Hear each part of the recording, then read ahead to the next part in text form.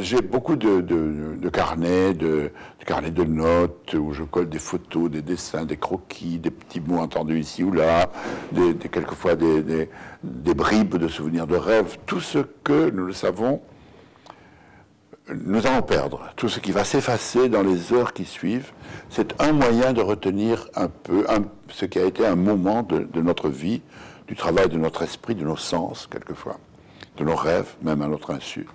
Et je, de temps en temps, alors ça c'est systématique, je reviens à ces notes qui quelquefois sont des notes qui ont 20, 30 ans, 40 ans même quelquefois d'existence, pour retrouver pas forcément un moment de vie, mais quelque chose qui peut se glisser dans un travail d'aujourd'hui.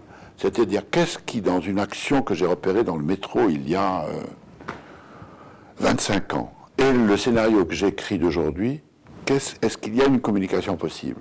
Est-ce qu'il y a c'est ce pari fou qui est que je prends ceci et je prends cela, je le mets ensemble, il y a une, scène qui va en surgir. Ça, c'est un, véritable exercice, mais qui, la plupart du temps, se termine d'une manière positive, se termine par quelque chose que je peux écrire aujourd'hui. C'est une de mes manières de travailler, je ne suis pas le seul, beaucoup de gens font ça.